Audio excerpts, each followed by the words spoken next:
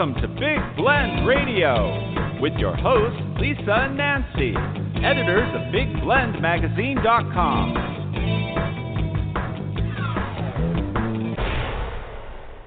Welcome, everybody. It is a Music Monday special here on Big Blend Radio today. We always love new music, and we Yeah. especially love it when we get to uh, bring Jon Durant back on the show. Jon has been on our show over the years uh, with his different albums. He is an incredible guitarist, and uh, he is on the show today with his friend and English keyboardist, Peter Chilvers. And during the pandemic, they recorded two amazing instrumental EPs um, that go together. It's like a back to back. Um, and the first one that came out is Always Golden Sands, and the second one, and Always Golden Sands has three songs, and then we've also got This. Can get them all now. They're both out there. You can get them on Bandcamp. By the way, one of the better places to buy music for musicians. Um, it, they they actually pay the musicians. Just saying, uh, but they're available on all streaming services. Sorry, but we've got to be like you know we've got to take care of our musicians, especially now during the pandemic when performances um, are not Right. the usual thing. So um, anyway, let's bring Jon back on. Everyone, you can go to Jon's website. It's jondurant.rocks. He's also on Bandcamp, and that's Jon with no H because he doesn't like H's. I don't know, but Jon, welcome back. Well, you know, kick the H to the curb. Huh? good to have you back on the show. Um, also, I want to welcome Peter. Uh, Peter's website is peterchilvers.com, and he's also on Bandcamp. Peter, how are you? I'm very good, thank you, despite the Great. lockdown and diseases circulating around the house. that's, that's great. You, you gotta you gotta be careful out in England. Apparently, you guys are yeah, like you're in double quarantine now over there. Yeah, it's not good. It's um, I, I think we've got a couple of weeks before it starts to calm down again. Oh, Oh wow. wow, wow! I'm Hmm. Yeah, it's Wow. horrifying. sorry to hear that. No, well, you've I had your Jon, fair share um, over there as well. So it's, uh, the pandemic's the gift that keeps Yeah. giving, really. Yeah, it Yeah. is. Well- it does. It, it, Would it be bad like- to say there's some people I'd like to send it to? Okay, now, now, now, now, we'll be nice. We're We'll trying nice. to be nice today. Come on. We're trying. Listen, it's Music Monday. Jon, tell me about how you met Peter and how this all started between you with with this these two albums. Well, we had actually we have known about each other for a long time, and we've been you know friends online for a long time, but hadn't met in person until the what the um, summer of 2019 when you know you could travel, you know, Mm. and go places, do things, and like and I had gone. Um, I had gone to England. Um, well, the let's see, I had gone to see King Crimson at the Royal Albert Hall, Mm. and then Wow. while I was there, I was actually on my way to Estonia to do the record with Robert Jürjendal that came out last summer. hmm And um, while I was there, um, a guitarist uh, named Mike Bearpark asked me to come and play on a record with his group Darkroom. And so when I went up to his place to do some recording, he said, "Oh, um, by the way, I'm having uh, getting together with some old friends from Cambridge University to have a have a pub night and Indian food." And I said, "Oh, great! I'll I'll be happy to join." And Peter was among them. Cool. Mm. And we ended up having. uh, Would you say it's the best Indian food ever, Peter? Is that, It's pretty high up there. It was very yeah, good. it was. It was one of those Mm, um, yum. shockingly good Indian food, and and um, just a really lovely evening, and um, uh, just made for such a an easy sort of oh finally we meet and and in such nice circumstances and um, from there it was probably later that year right? It was probably around december. I had this crazy idea for um, i started playing piano and running it through my guitar rig and you know all the crazy noises i got out of my guitar started doing that with piano. And said boy this might be nice if i had a real piano player. And so I contacted Peter, um, and he listened to uh, one of the pieces that I had done. It ended up becoming my album, Soul of a River. He's like, "No, there's nothing wrong with your piano playing, but let's work together. Let's do this. Let's, you know." And so um, that started. Yeah, we started early in the year, and then what sporadically you would have some time, I would have some time, and and then in a flurry in in the late uh, summer, early fall, we both found ourselves, you know, sort of completely focused on it. And and what happened was that the album ended up becoming quite a bit longer than a full length album, and and we really liked the the last pieces that had come together, and said, well, let's do an EP with these, which we put mm. out first, obviously, because that's what you do, isn't it? Put the last thing out first. Um, yeah, sounds good to me. yeah, sure. I understand that. you know, this is why you don't get a mathematician involved in the project. yeah. I count backwards. yes. Now anything backwards goes with me. yeah. so that so that was always Golden Sands, and then you came out with Vista. And it's interesting because I know in Vista you've got a song. The first song is Quarantine, right? But collaborating like this is really it's it's fascinating to me how that happens, especially not being in the same room. Uh, Peter, tell us a little bit about that process. I mean, and, and we'll play always autumn so everybody can hear that. Um, and we have to say autumn because Peter doesn't say fall like we do in this country. um, no, do you know, I hadn't thought about that when I named it.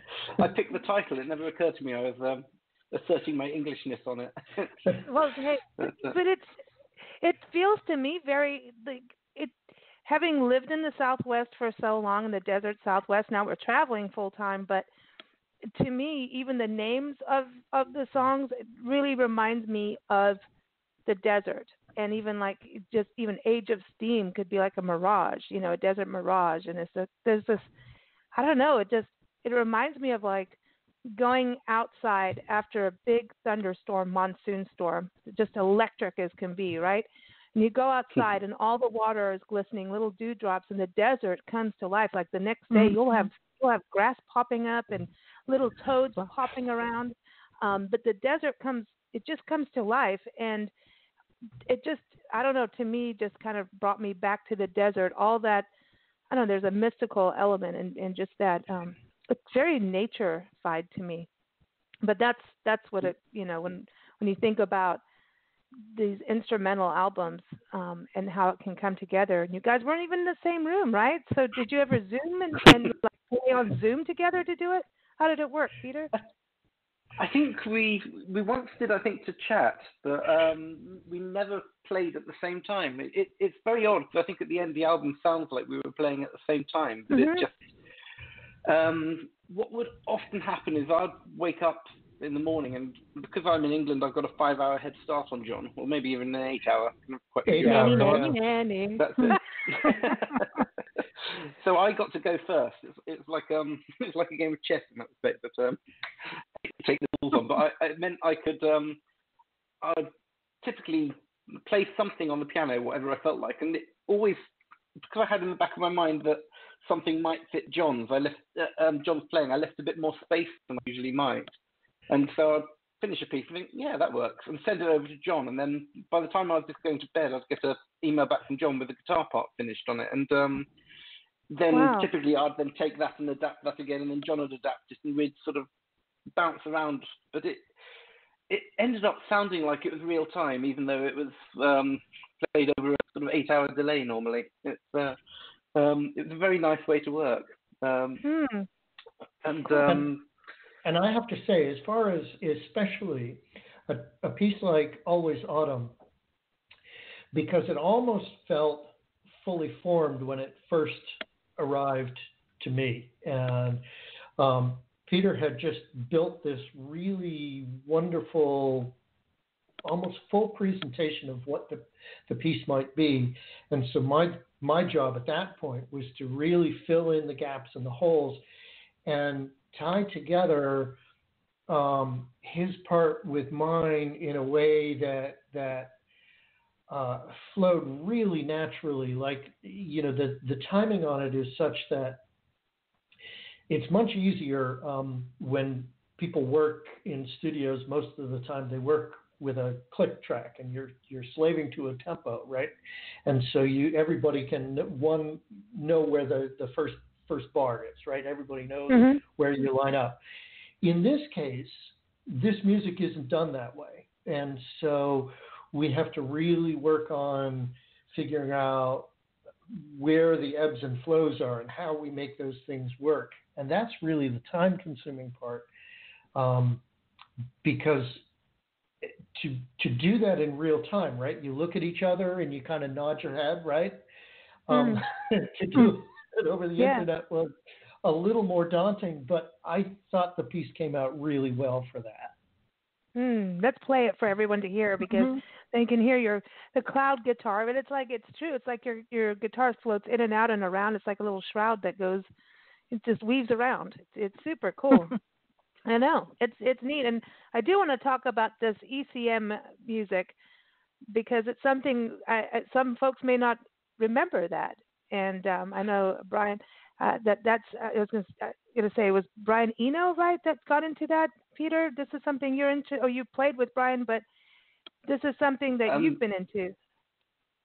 It's something I was very into. Um, it's quite odd the way I got into it. Actually, I was um, very ill as a teenager uh, when I was about 13, and um, and I'd already playing the piano a lot. And the doctor who treated me at the time, um, when I told him I played the piano, he said, "Oh, you should check out Keith Jarrett. I think you might like him." And it um, absolutely changed my life. So I'm wow. also I think largely saved my life as well. So was, he did well on that. Um, and uh, hmm. yeah, it got me hooked on a lot which, of ECM. And, which which one, Peter, did you start with?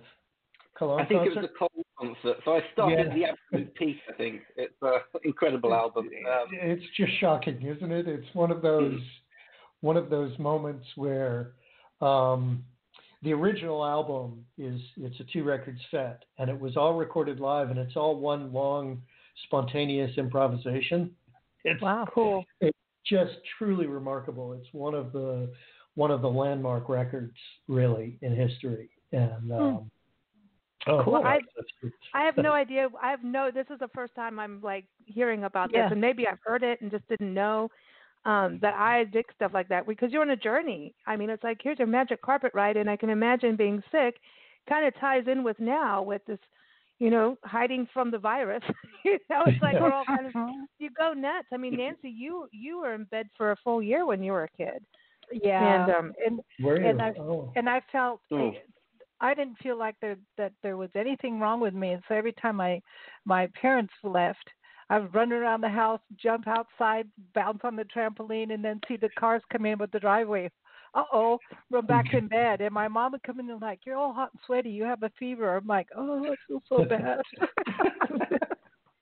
but you need an Sorry, Mom. and something to do. Like I used to get bronchitis as a kid, like a lot, and especially when we lived in England, your weather and and and my mm. my lungs didn't get along very well. But it, yeah, it does that. mm-hmm. When you're trapped in, when you're trapped in there, you that's how I had to get real creative. Like I made my own board games and stuff. Like I, yeah, I, I you know, I'd play like Scrabble and play like another person's hand and do all kinds of weird stuff. But I can imagine music uh, for you, Peter, being something that I mean that sets you on your path, then, right? As as a musician today, from that. It did. Well, what was really odd actually, because what Keith Jarrett does is he turns up on a empty on a yeah empty stage with no idea of what he's going to play and just sits down and then suddenly the entire concert comes out. Wow. And um, while I won't for a second claim to have a fraction of his skill, that's also what I do. I um, uh, I improvise. Hmm. But at the time, until I'd spoken to my doctor, I had no idea that was a thing people did. It was um, it was such a revelation that it, that other people did this thing, and it had a name, which was improvisation, and I I just didn't know. And um, hmm. so yeah, it suddenly um, yeah, it really did set me on a path there. um, wow. I'm very grateful for that recommendation. Um, I'm gonna have to go was... find this. I'm gonna have to go dig mm. this up and, yeah. and, and I'll, listen. I'll send you a link. You're gonna love awesome. it. I promise. Awesome. Thank you. Cool. I dig this. And this, you know, yeah. these two albums, I think, are so beautiful. And you know, I have my own thing of this is the Southwest Desert. Somebody else could say it's something else. Everybody has their mm-hmm. interpretation and feeling of music, but it's something that you know, listening to Jon's music over the last few years and him coming on the show. every time I listen, I hear something else, or or I feel mm-hmm. something different, or it's very visual, and I love music like that because it allows you as a listener to either you know just go on a journey, you can relax, you don't feel like I don't know. Some music makes you work. Do you know what I mean? Mm-hmm. And this music doesn't yes, make you work. Mm-hmm. And it just you want to stretch for some reason. I just feel like I need to do yoga or something, but nobody wants me to do that because no one wants to see me do downward dog. Anybody's going to run. Oh boy! oh boy! but but it's beautiful. Make so let's, let's, Lisa. Come on. I know. Let's play Always fair. Autumn. So here it is. Before I get myself into trouble, here it is. Always Autumn again, everyone. Uh, this is off of the album Always Golden Sands, the EP, and you can get it on Bandcamp uh, again through Peter Chilvers and Jon Durant, Jon with no H. So here it is. Always Autumn.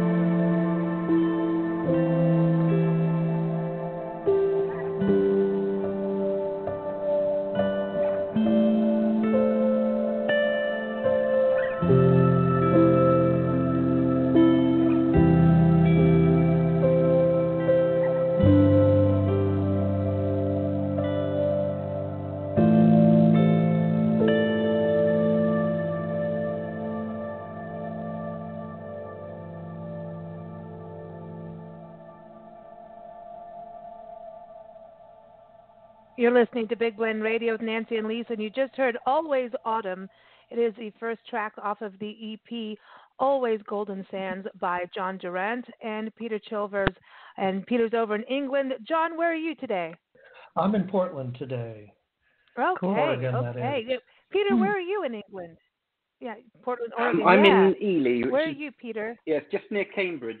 Um, so on the oh, east coast, very, very, very mm. flat bit of um, of England. Um, although weirdly, I've hmm. been um, because we're in lockdown here. Um, I've, I've, started playing American Truck Simulator, and um, it's a fantastically slow-moving game where you just ride, drive these um, huge trucks across America. And oddly, I'm um, last night I was um, driving a shipment of milk up to uh, Portland, so uh, oh, I should pop in and say hello to Jon. well, it is. I know it sounds mad, but it is actually one of the was... nicest ways to listen to music. It's um, so I tend to turn all the sound off the game mm. and just um, drive through endless countryside listening to um, it was uh, uh, Joni Mitchell's Hejira last night, and it was oh, yeah, very nice yeah. way to um, unwind. And mm. I I listen wow. to music with far more commitment than I usually do. Actually, I'm embarrassed to say I'm a real fiddler normally, and I just uh, blether around messing with email and other such things. But when I'm playing this game, I'm doing next to nothing following the road ahead and enjoying the scenery and uh, enjoying an album. So uh, it's, uh, wow, I, I want to say that. Hmm. Well, we, we, we I do cool. a lot of driving though. I really do a ton of yes, driving. But I want to say that Peter, your new name is Postman Pat, and it's black and white cat. you know, I grew up in England a, a little bit when you know. I do. I, I remember that yes. cartoon. Um, yeah, Postman Pat. Mm-hmm. So, are you, you near Norfolk, England? There, like East Anglia area? Yes, that's right. Yeah, I, I awesome. did live in Norfolk awesome. for a little while, so um, it's a, a, lovely part of the world actually. Um, and uh, I used to run a record label that was based right in Norwich, in the middle of Norfolk, and um, really I, cool. I, loved living there. cool. Oh wow, very cool. We have our good friend Glenn Burrows. He's our um, English expert, and he does family history, and, and he runs Norfolk tours in Norfolk, and he's on our show like oh. every every month or two months, and mm-hmm. he takes people around East Anglia and England, but t- it takes them to um, places where their you know their ancestry is. So a lot of Americans going back over because obviously we have a lot of British history, especially when Jon, when you're back in you know Massachusetts, you guys are like you, you're full you know tons of English history there. Oh yeah. And uh, oh, so yeah. a lot of people from the states, Canada, you know, Australia, South Africa We'll go over and he takes them around. It's pretty cool. So we've learned a lot about your area, which is beautiful. And we run a story series called The English Connection. So wherever we go, if we find English history, it'll tie back to Glenn, to England. But no, normally it will end up being Norfolk. And you've got a bunch of famous people. Like we discovered Abraham Lincoln's. Mm-hmm. We went to where his parents met in Springfield, oh, wow. Kentucky went to the cabins and everything where they were, and then found out that Abraham Lincoln's, his, I think it's his father's, I can't remember the father or mother's side, but his ancestors come from Swanton Morley, which is in Norfolk, and so they're looking at becoming sister city. I mean, it's crazy. It's it's amazing. Like oh, all wow. the I have no idea about. All, all mm, goes back to to yeah. Well, this is it. We're all connected, and I think Absolutely. one thing, Jon, that I love what you do is that you tend to go over, you know, across the pond, even to England, you know, the Ukraine.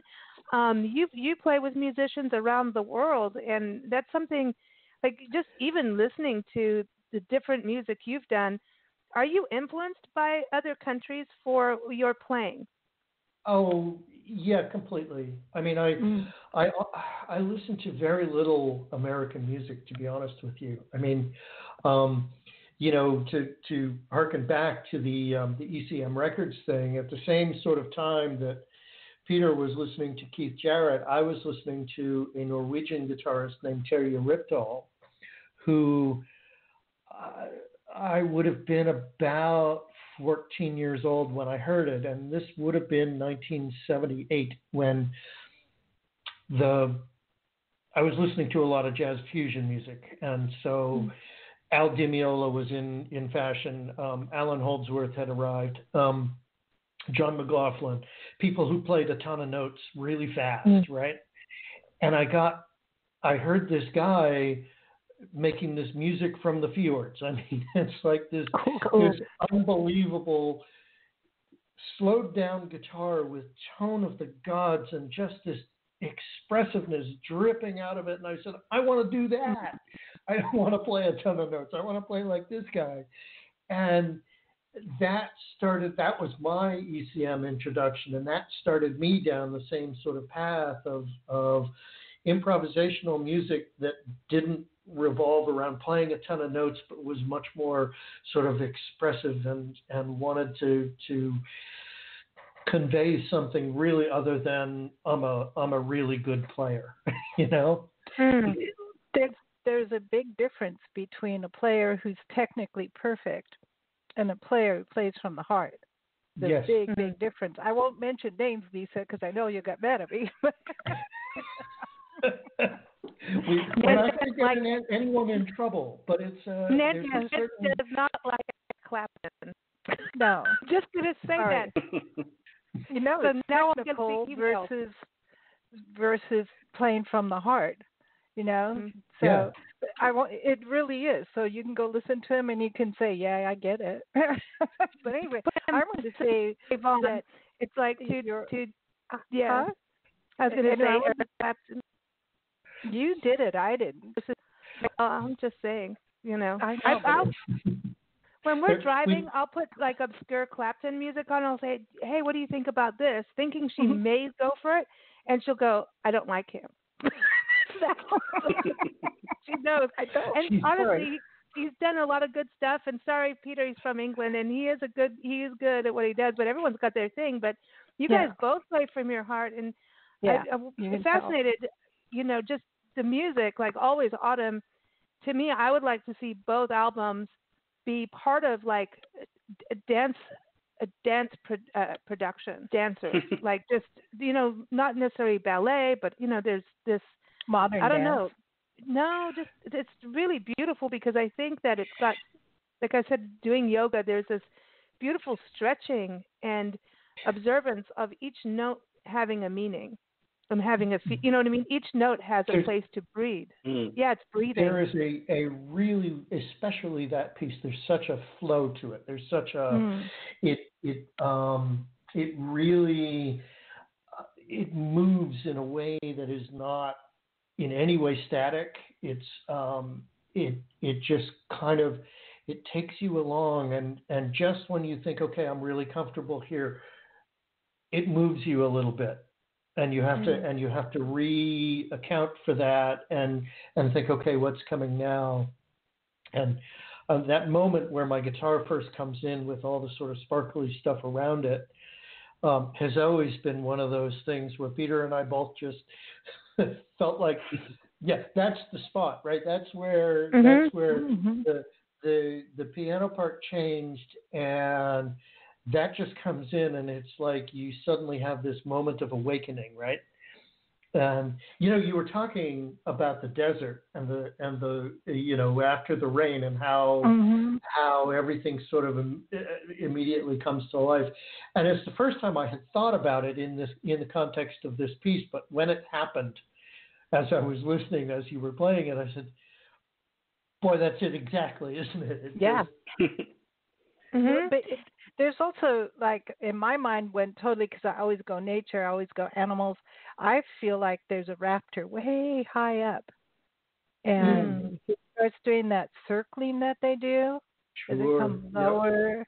and lower, and then they stop flying, and they're just floating on the thermals. That's where my mm. mind went. I'm like, dude, I'm floating up there with some eagle. yeah. I've listened to it a few times, and like every time I listen, it changes. Like the first That's, time always yeah. autumn, I went right to autumn, and and this year Nancy and I were in St. Louis in a suburb, uh, Webster Groves. It's a historic neighborhood in um, that's actually a university church, university kind of neighborhood, um, a historic neighborhood, and um, this bed and breakfast was an old church. I'm just saying. And anyway, we went to this park, and Jon knows we sneak wine everywhere we go. Yeah. And by the way, this, uh, I know Jon, you like to drink whiskey with this, and I'm just going to say, I'm going to agree. I'm just saying. I'm just saying. um, but, but we have a little backpacks, our Portovino backpacks, and we take our little wine in there, and no one knows it. You know, it's totally discreet. Anyway, we went to this neighborhood park, and you know, we're from the desert, and so fall is some of the cactus get little yellowy things, and there are fall colors in the desert. But we experienced true mm. fall colors in oh, that excuse me last year I should say, not this year. Um, yeah. And it is absolutely it's amazing. Just, I I can't you it's intoxicating. You're so you you almost just want to roll in the leaves, you know, and you just mm-hmm. you, if you could eat the colors you would and these we sat on this bench and people are jogging and walking their dogs and doing all the healthy things. We are sitting there drinking our wine and didn't move from this bench.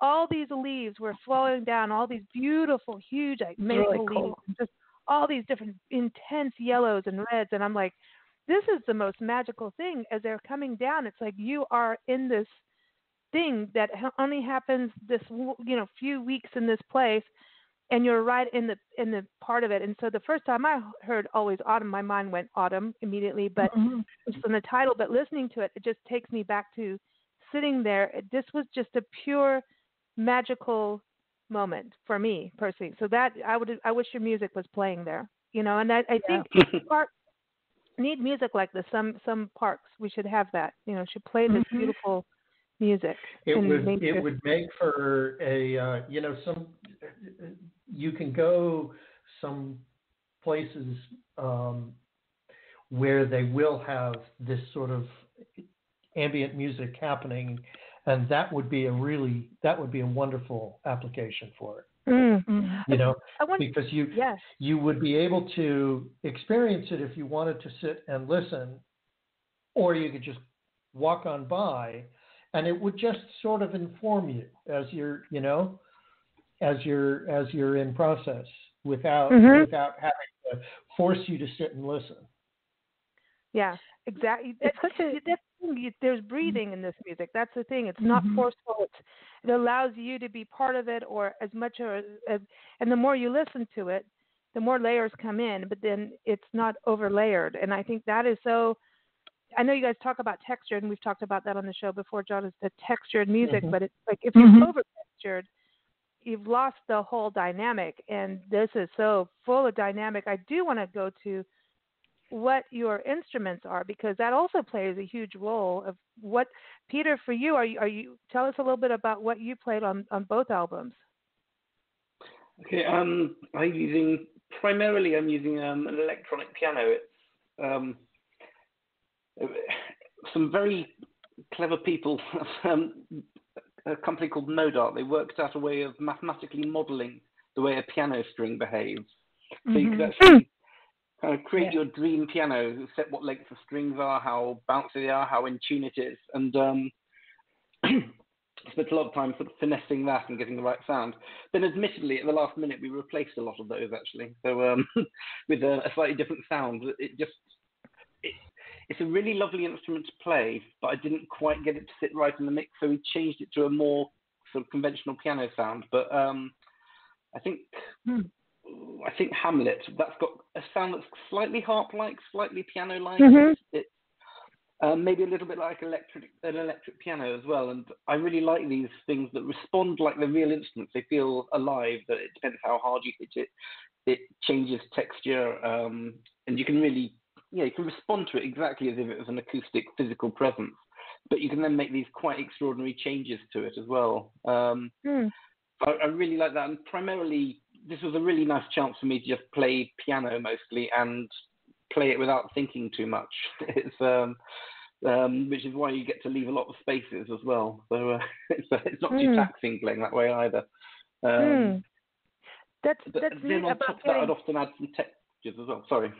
I was, was going to say it's a, it's amazing about what the the technology is now because I remember Nancy and I used to both teach um, musical organs and uh, we taught retirees, and it was interesting about like all these organs. We we did SD, um, and then there was uh, Lowrey organs, Lowrey. but certain ones were really good at piano. And the piano, I mean, it, and even on keyboards and, and electric pianos, like mm-hmm. Roland at one point I think was yeah. one of the top for getting the piano sound, but it, the piano is really hard to that and the banjo. Stop it with banjo. the banjo on some of the things, but but the that piano to key have on that, the banjo it sounds yeah. but that's the thing about when it was like keyboards or something. I I would like miss the the thickness of the keys, like that that you know. And so it's really nice to hear what you're saying, mm. and and to be able to hear that sound come in that it's just I always feel like piano is one of those hardest things, you know, when it comes to the electronic things, hardest to capture the sound of it. Well, one of the things about a piano is that um, there's two components to it. One is how loud you hit, how hard um, you hit the strings, and that changes mm-hmm. the texture quite significantly. But the main thing is when you have the sustain, all of those 88 strings resonate against each other. So you play an A, then all the other A's are kind of contributing to that. And um, some of the notes that are similar, like an E, they will also chime in a little bit. And you kind of hear them, they kind of all sort of oscillate back and forth. So you'll, as you hold down a piano chord, the sustain down, you'll hear different notes start to come out at different times, and it sort of swells and rises and falls. And it's a much more dynamic instrument mm. than is at first obvious. And that's what electronic pianos historically didn't used to do. I mean, historically in the 20 years ago sense, but um, in the last few years, people have started to really get the hang of um, capturing that sort of resonance as well, and you do feel like you're playing a real instrument. It's um, hmm. it, it's it's a great thing. I really love doing it actually. Uh, so you can well, feel like to own a real grand piano. when when you play the keys, you can you know you can strike it hard or soft, and it responds that way. Yeah, and this is because oh, something about it's part of the nature of mathematical math, mathematical modelling. It's not an easy one to say. Um, that it, it, makes it much much more responsive rather than with a sampled instrument. What typically happens if you play it soft, you get one sound. If you play it hard, you get a different sound. It's yeah, right. switching mm. between say 16 different samples. But with um, a mathematically modelled one, then um, there's a real richness to it. Um, mm. You don't feel like you're playing the same note repeatedly. It's, uh, hmm. Um, cool. That's that's interesting. That. I'm yeah. I'm glad to hear that. I, you know, it's um, mm-hmm. it's just fascinating to me how it's going. I, we had Dave Kersner on the show about a year ago, actually, and talking about how he's done all this recording of sampling, like all of these samplings, and and you know, it's almost like this library of sound that you know, musicians can pull into, and it's like, wow, that is so cool. It's so hard. Like you want to run around and record everything that you hear, especially when you get into ethnic instruments too, um, just so that those those sounds don't go away because there's you know instruments all around the world that you just you you don't see you know on on the main typical stage. And so to me it's like if we can capture those sounds especially tribal instruments i would love to see more of that because you may never see them you know um, for and, and be available for that Yes, and I certainly don't want the instruments themselves to go away. It's a that, that's a balance, you know, yeah. It's it's almost the the one downside to it is that yes, we can we can access these things and access these sounds and but but you don't want the real thing to go away and and mm-hmm. uh, because that's really that's such a huge part of of the tradition and history of music and how it how it comes about. So. Mm you know, I, there's, yeah. your, there's your little your your little balance that you have to try to strike. You know. Mm. I don't I don't think they'll go away because a lot of times keyboard players they they play the piano and the organ part really well but mm-hmm. if they go to guitar they play the guitar as if it was a piano because they're still on keys and mm-hmm. they play the trumpet like a piano because right. they're still on keys so they don't mm. really mimic the sound of the particular instrument so I think a trumpet player will always be better than a trumpet on a keyboard unless the player's really, really good at it. I mean, but like, you got that bendy thing that you can do. Yeah, you got the bendy thing, but the bendy thing is there. No, it's quite true. There's all the subtle nuance of any instrument that sort of um, you you just can't capture from a keyboard. It's yeah. um, so it's lucky for a sampled piano or sampled organ that works absolutely great, but um, yeah. and picked guitar can work quite nicely actually, but mm. in finger picking. But as soon as you get into the thing that say Jon does, particularly with a fretless guitar, is there are any number of ways of playing a single note, and it's all mm. that control that goes into the fingertips. So important, mm. and yeah. you just can't capture that on a piano. Yeah, because fingers aren't breath um, either. You know, fingers and and mm. it's like a whole different like you know if you think trumpet, you're breathing right, so yeah. you're controlling mm-hmm. through that, and then mm-hmm. fingers are fingers. Even though guitar and piano is you know strings, it's just it's fascinating because I also look at an organ is almost because it's not strings. An organ is almost like a breath instrument because of the pipes, you know. Yeah. So to just you know the traditional, old school traditional, you know.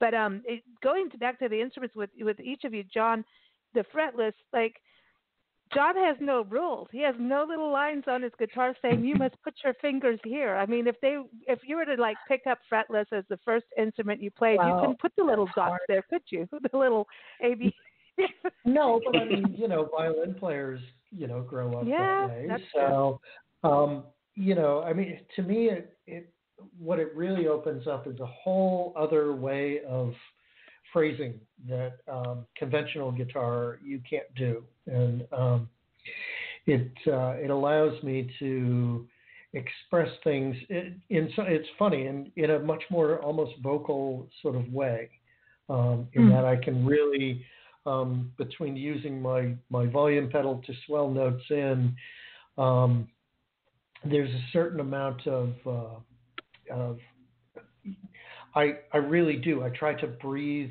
the notes the way a trumpet player might, or a or a sax player, or or even a singer for that matter, where um, you know I can really I can I can adjust pitch, I can adjust things in ways that you just can't do with a normal guitar. Mm, it's it's it's neat to me. Your music. You always go on Facebook and do little clips for us to hear you play, and it's like this. It's just magic. It's magic, and I'm so glad the two of you got together to do this. Do you see doing more like this, uh, more productions together, and because it's a it's um, an awesome project. Definitely. Cool. Definitely. It'd be really awkward at this point if we said no, we'll never work again. Yeah, yeah really, that's it. Yeah, you know, that we're not working together anymore. no, it's a very frosty interview for the rest of the evening then. That's it. It's like no, they're they're over. They they left each other once. Now it's over. yeah. it's become a novella. But uh, if it, it, I mean, it would be cool to see this performed live, and then have like a like a dancer just kind of bend and flow with the music. I would love to see it live. You know, wouldn't it be be fascinating to to you know have the concept of live performance? Mm. Uh, uh, once upon a time, this was a thing, right? yeah, yeah. yeah. What, you mean, what, what is interpretive back in the dance? good old days when we were allowed out of our houses? yeah, yeah. But I I I would like to see it performed in a natural, just a beautiful nature setting, you know. Just, yeah. But also, do you see this kind of music being used in film? hmm Well, that would be lovely. Yeah. And, yeah. and I can I can certainly see it, and um, yeah, if anybody wants to uh, get in touch and, and take it there, please do. Mm. Yeah. It's one of my first ambitions was to be a soundtrack composer, actually, which I've never really um, sort of fulfilled. But um, I've kind of been near to soundtracks happening, but not quite been the one generating them so far. So um, maybe, I would love to hear some of the music used in film. Maybe you have to make your own film with your own music to. Well, I did actually start writing a script years ago, but then I discovered oh, I'm cool. not a script writer. I got huh. got about hundred words in and thought, mm, I'm going to need to work a bit harder on this. Well, just you know, because then you know, then then it gives people the idea that you can't go there, because otherwise you you have to keep knocking on people's doors, and they're like, the first question is, well, how many have you done? And he's like, well, this first, so like, okay, bye bye. So make your first one. Mm. just and it doesn't have to be a big movie. It could just be a short thing, and then yeah, short. can say here. Yeah. Uh, yeah. I may build up slowly to superhero blockbusters then. So. Yeah, there it is. But I, but you know, independent film now is uh, so much on the rise. We've been doing a lot of independent film interviews and and watching them, and really, yeah. it is the same thing as so discovering musicians that you don't know that aren't like always on mainstream radio and it's just that it's a pure joy to see that this craft is it's it's quality you know and independent film i don't know what happened with this word indie a lot of people just kind of feel like it's not like vanity press i mean there so much work goes into a film so much work goes into an album um and like you guys this was something you did over a year um so i just you know go like go like Jon and, and start investigating all these other places and uh, you know all these other musicians and books and authors. It's so cool. It's uh, it's such a cool journey. But going into just getting a geeky thing again, um, you're sending files back and forth and doing something to them. So let me get this straight because it's fascinating to me how you guys are working, and I know musicians have been doing this a lot everywhere. But so you put the piano part Peter. Then you send it to Jon. Are you sending it like a wave or an MP3, and then Jon you file. put it through some kind of mm-hmm. something and add on? How does that work? Where you're merging it into one file? Well, what ends up happening is is you work in a in a computer program that for recording um, audio and, and MIDI information and Peter will send me a file, so there's one track, and I'll do my guitar parts. There's another track, you know, load up all Hmm. these tracks, and then one by one, you output each Hmm. individual track, send them back to the other person.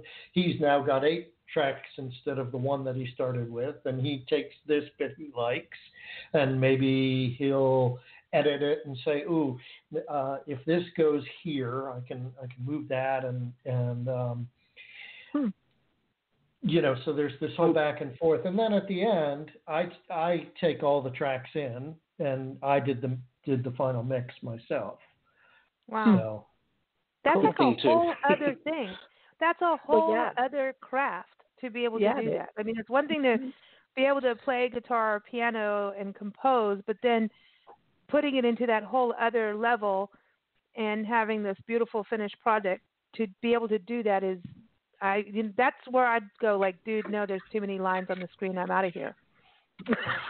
there are, it's funny. I'm actually dealing with. Um, uh, I think our first interview was after one of my Burnt Belief records. Yeah, that's right. And, Uh-huh. um, and we're actually finally doing the fourth one, and um, Oh. we're actually dealing with the drummer. Vinny is one of those people. He's an amazing drummer. He has the he's got the microphones and everything at his house, everything he needs, but he can't do it himself. Oh, He's he's unlike you know Peter and I who have been doing this long enough that we're comfortable with it.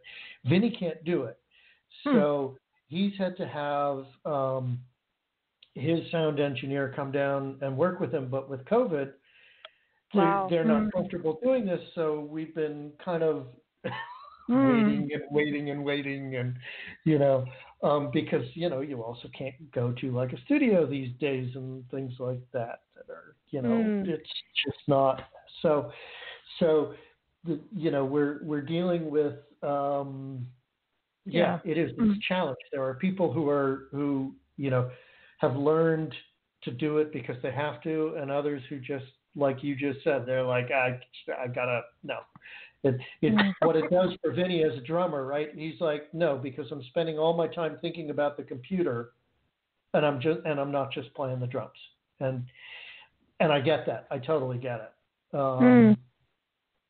Yeah, co- you're gonna get you're gonna get angry drums. Yeah. You're Be gonna careful. They- I it know out on the drummers drummers do interesting things with their drumsticks if they get upset. I know yeah, that. you, Don't no. be doing downward dog yoga positions in front of any. That's all I'm saying. Mm-hmm. but but this this this is interesting about COVID, and it's a final question for each of you. I mean, I think it's been a very interesting thing, and it's the same thing as a you know filmmaking again, right? Not having this multi-million dollar budget and then having to create something out of a very small budget. COVID has done that to all of us. It's not like it even recording's different. Maybe you guys would have been in a studio together, and it just would have been an improv session, right? That would have been recorded and then added to, and and but it's different, and so everybody's. I think COVID has pushed the creative envelope a little further than what it was before the pandemic. I really do. For for anybody in the creative arts and creative industry, even businesses have had to use their creative brain uh, to stay open if they can or work completely differently. So for each of you, what do you think COVID has done in, in that positive light? You know, I know COVID sucks. People have died uh, around the world. It's a terrible, terrible uh, virus. Um, it's been just it's been devastating. However, there's always something to be learned from these negative situations. So, Peter, for you, what do you think you've got on the positive front in regards to creativity? There's been two things actually. Um, one is because I've spent a lot more time at home in the last year, it's given me a chance. Um, uh, my other side of my life is writing um, computer software, mainly for my projects with Brian Eno, and they're quite experimental electronic ones and it's given me a chance to take a long step back, work out what I'm doing, and try and work out ways to do that a lot better. It's quite a hard thing to explain, but it's um, you know, a very nice way of just reappraising how I work and um, thinking about it. But the second thing is that I just don't think this album would have been the same album had it not been for COVID. I think had we met in a room, um, it might, for all I know, have been a better album, but it wouldn't have been this album. I think we would have played differently if we were playing live. And I think because we were able to take a step back and sort of play, polish, change something, play, polish, change, and then keep adapting each other's work. I think this came probably a stronger and more calm record than it might otherwise have been. I think mm. you, can afford to be a bit more adventurous when you know you've got the ability to just go back and change things if you need to. Whereas if you're mm. live in a room, there's a certain level of stress that can be very productive as well. Um, but it tends to drive people to overplay a bit more. Um, hmm. And when you're hmm. playing on your own, yeah. you're not really always trying to impress somebody or try and show off what you can do. So I think that's actually quite a useful thing, and I think that's driven the sound of this album a bit. I think it's um, and probably takes us a little bit closer to this ECM territory that I, I love so much. Um, there's a level of quite a level of restraint there, I think. Um, awesome. once you've got that, it gives you a bit of a chance to um, let each note ring out and say what it needs to, rather than um, play a whole flurry of things. That whole thing of listening back, you know, to the good and the like, oopsie, I shouldn't have done that, and then having to deal with that part and make things better. You have to put your ego aside, you know, of something mm. and and be, you know, like truly listen and and that's the interesting thing as musicians you're you're creating and then you're performing whether you're recording or not, it's still a performance. You know, when you're recording a piece, you're still doing that, and, then and it's a different performance if you're not. There's a different energy, right? If you're recording on your own in your own home studio, there's a different energy, and so to go back mm. and listen it is, it is a different energy, and and what's fascinating is it isn't. Uh, Peter was was right on with this. It's not necessarily better or worse. It's different. Mm-hmm. And, yeah, and just you, different and and one of the things is to learn how to make that different be its own um, positive entity in and of itself, right? Um, I I think I think this whole notion that this album, yeah, it would have been different if if the two of us were were in the studio at the same time doing this together. Yeah, I don't know. But you know, I don't know that it would have been better, and and I look forward to doing that on the next one because it will be different from this one, and mm-hmm. um, you know that's something that's really important to me is to make sure everything to do another record I would like it to be different, right? I wouldn't Ooh. want to do the same thing again. Would so, you be able to perform this album now that it's gone back and forth and it's been, you know, produced together this way? Would you be able to take the music now and perform it live together? Can you? I would. Would I would be different, so. wouldn't it? Yeah. It would be different. Funny enough, I was going to say the opposite. I'm not sure I could repeat some of those things. I think I think it would be a set of quite similar sounding tracks that weren't necessarily the same thing. Um, yeah. I think mm-hmm. probably Always Autumn is the only one that I think is easily reproduced. It's quite it's got quite defined the note the sort of harmony structure and I um, think that and, and Hamlet could certainly both be be done. Um, Mm. and then the others would the others would be we'd have similar structure, yeah right? Hmm. yes and similar sound Yeah, choices I I guess don't- as well. Yeah. I don't know if you can play the same song twice exactly the same way, whether it's Well, in the studio or live. I think there's always going to be, depending on your mood and your circumstances, always going to be just a little bit different somewhere. Mhm. Yeah. Mm. Sure. Certainly, that's that's always the case, and that's very true. But Mm-hmm. it's particularly true when so much of what we do is improvisational. Yeah. You Yeah. know. Yeah. Uh, I mean, it's sort of what's interesting about both of us as as improvisers is that we're both very much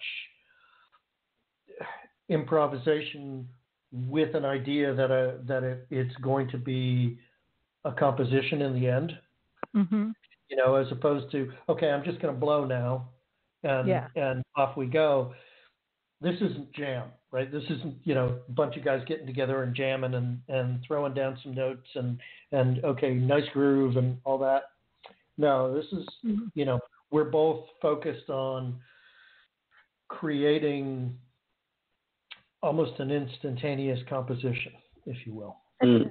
It's fascinating to me. I just I want to see, you know, we've talked about this on other shows and, and maybe even with you, Jon, too, about there's something about like your style of music is I want to see people paint, I want to see people dance to it. I Yeah, feel like there's this other energy in there that allows that. It's that breathing part, which is amazing because I always feel like live is more of that breathing, but now I'm thinking it's the other way around because live you're already you're expending that energy as you're doing it. I know that sounds Mhm. weird, but it, but it's No, but it is It- the the the difference, and a lot of people, a lot of musicians, especially when they first start recording, struggle with this because there's this thing that happens live, and the idea is I want to capture that, and it's Mhm.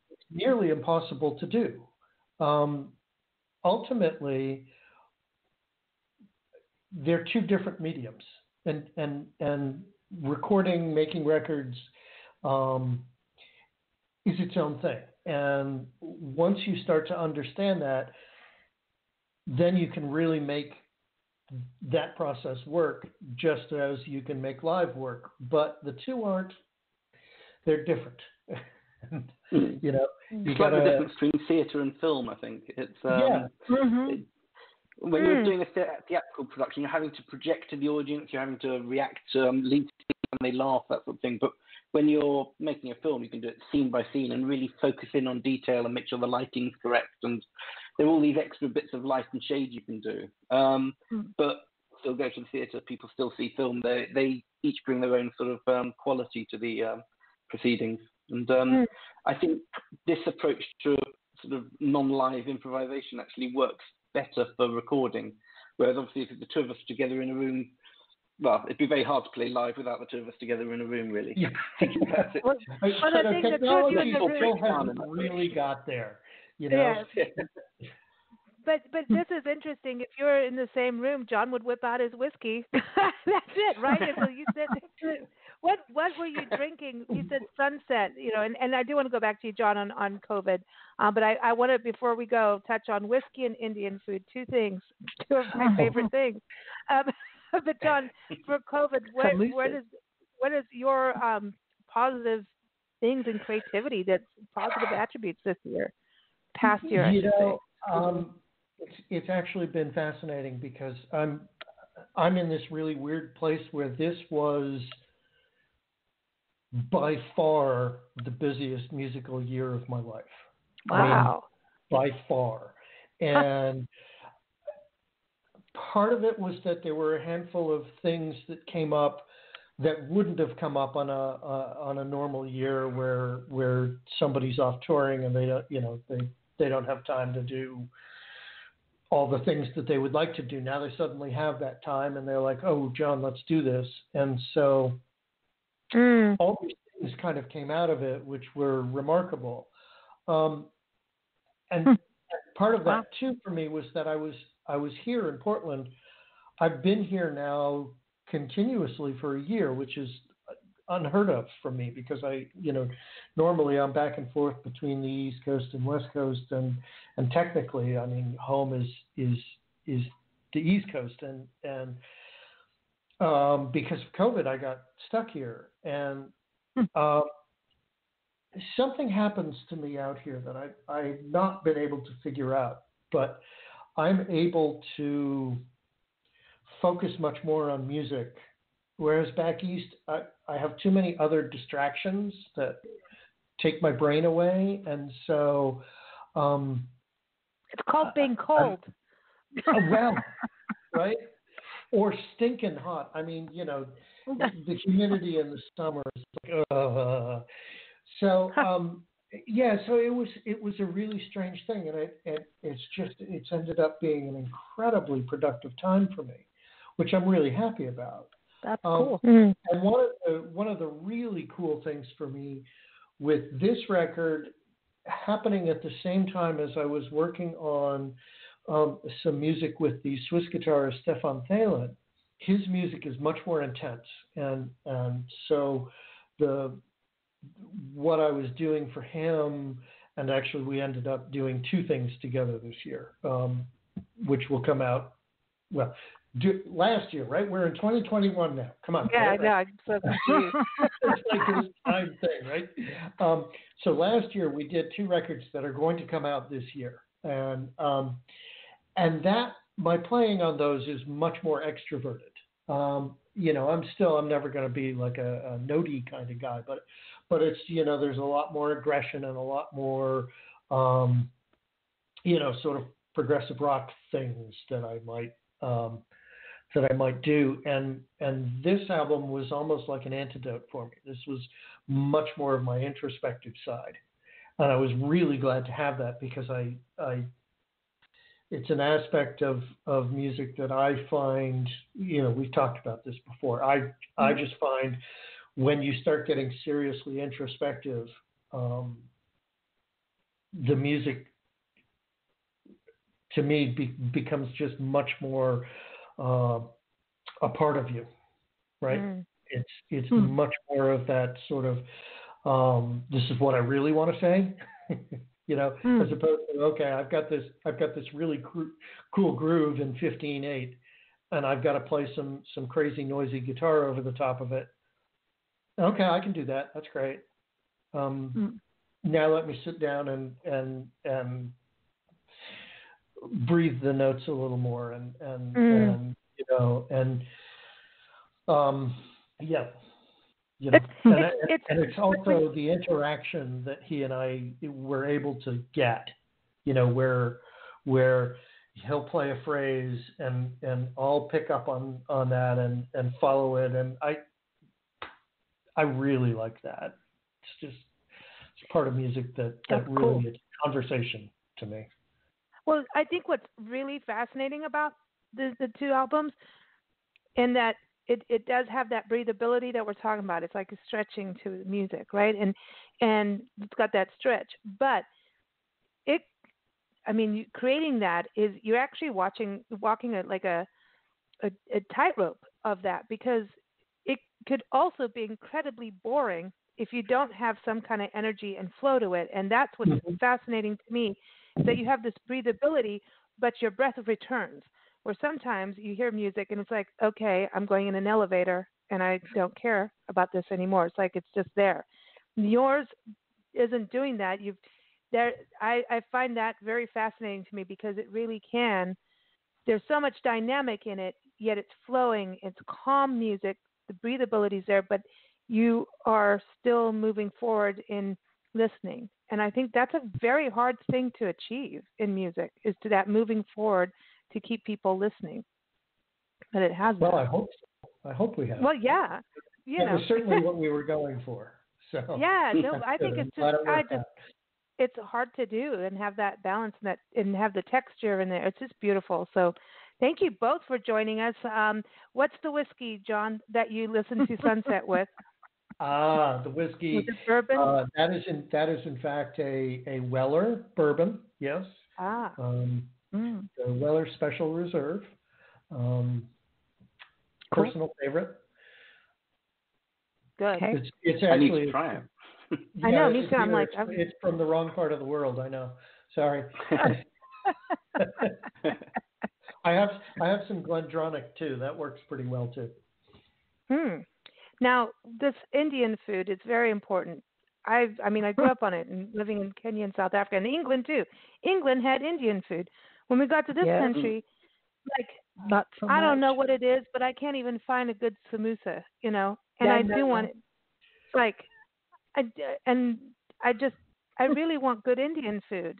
I've had I'm having a hard time with it It's finding it's, it. You know, You it's a hard thing in yeah, it's a hard thing in America. I, I, I'm really lucky back east.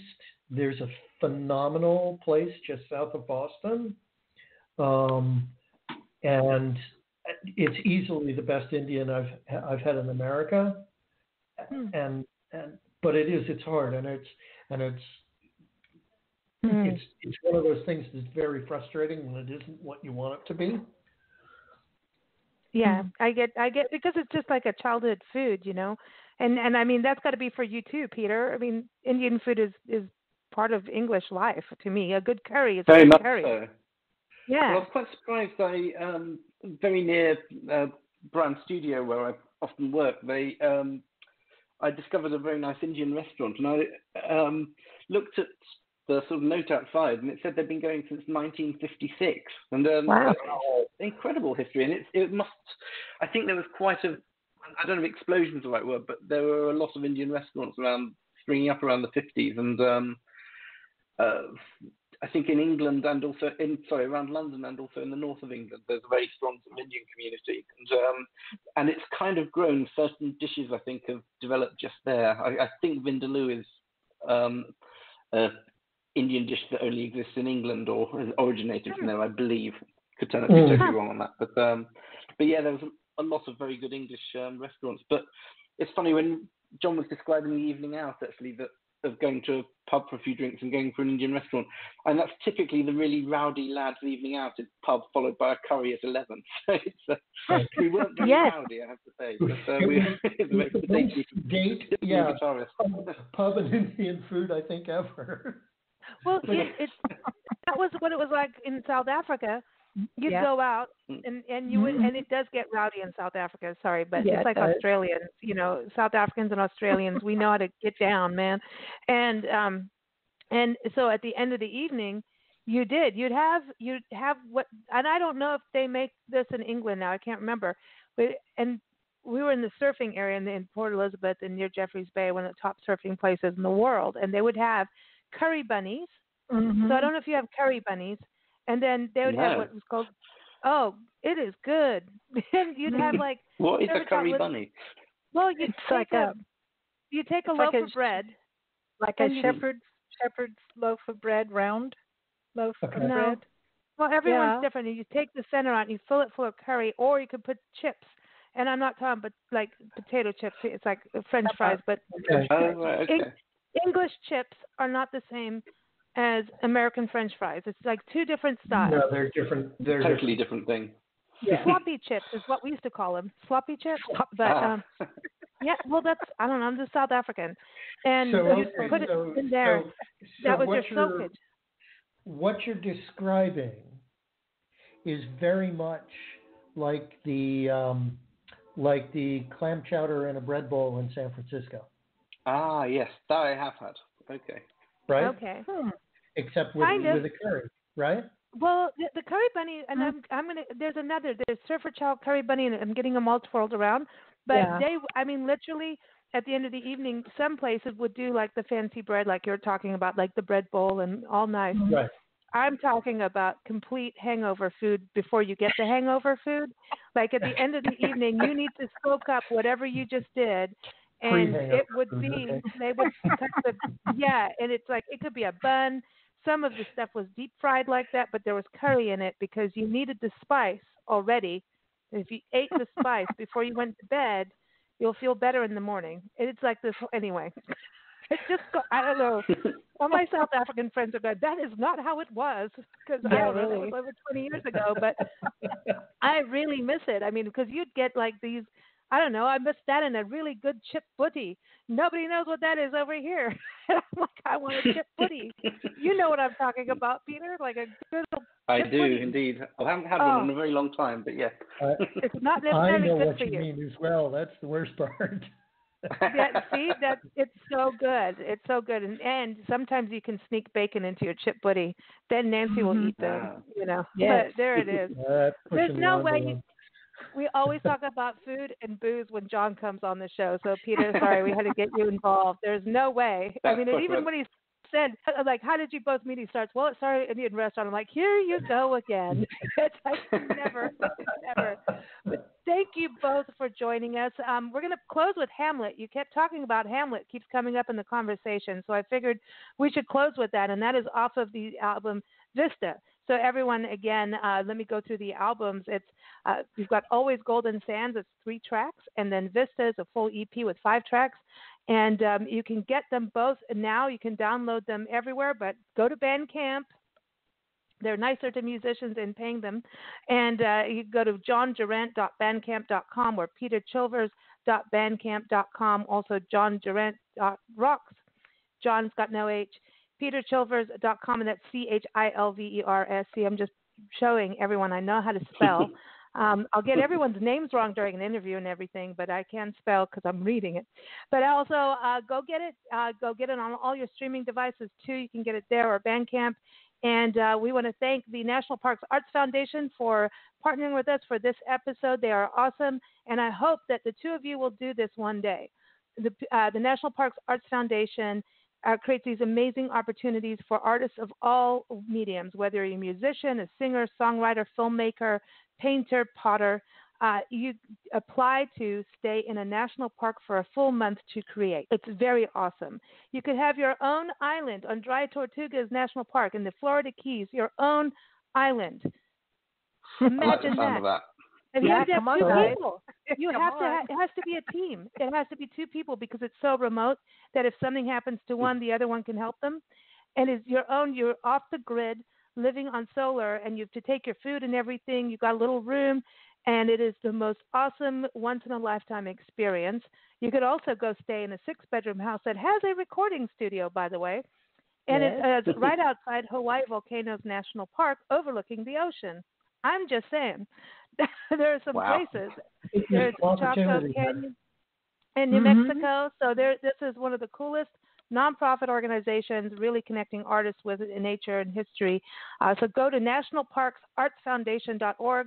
Our first Friday show on Big Blend Radio is always dedicated to the artists uh, that go to the parks. It's always fascinating. Our next one will feature the founder, Tanya Ortega. She always comes on every year to give us an, a roundup of what are the opportunities for artists. So check us out again, nationalparksartsfoundation.org.